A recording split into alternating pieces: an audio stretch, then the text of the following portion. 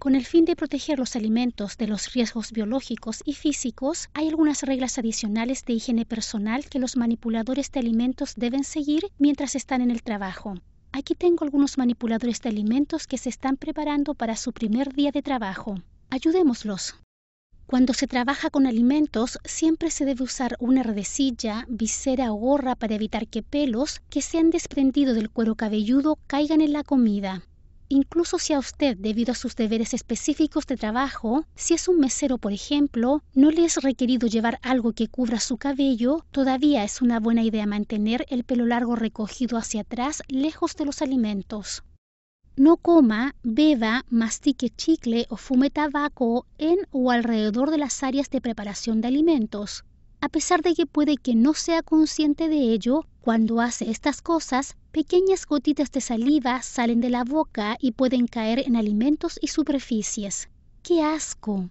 Además, al comer, beber y fumar, la mano pasa mucho tiempo cerca de la boca y recogerá las bacterias o virus que llevamos ahí dentro. No debería usar joyas en las manos o muñecas mientras trabaja con alimentos. Relojes, pulseras y anillos, especialmente los que tienen piedras, piezas en movimiento o superficies decoradas, atrapan partículas de comida y gérmenes que pueden crear un riesgo biológico. Anillos con piedras también pueden rasgar o romper los guantes, creando un riesgo físico. Sin embargo, usted puede usar un anillo de metal plano como un anillo de bodas. Las uñas son un gran lugar para la suciedad y para que los patógenos queden atrapados y crear un riesgo biológico para los alimentos. Mantenga las uñas limpias y cortas. No se debe usar esmalte de uñas y uñas postizas a menos que se ponga guantes cada vez que trabaje con alimentos. Siempre báñese o dúchese antes de ir al trabajo. Vístase con ropa limpia. Básicamente, practique una buena higiene. Trate de llevar al trabajo el menor número de patógenos como le sea posible al cuidar de sí mismo.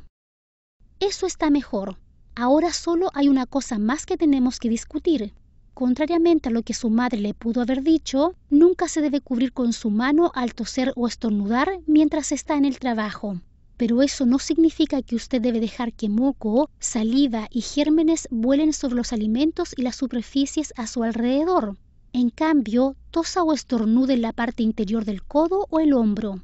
Eso le ayudará a contener la mayor parte de los fluidos y gérmenes, pero no olvide que después tiene que lavarse las manos.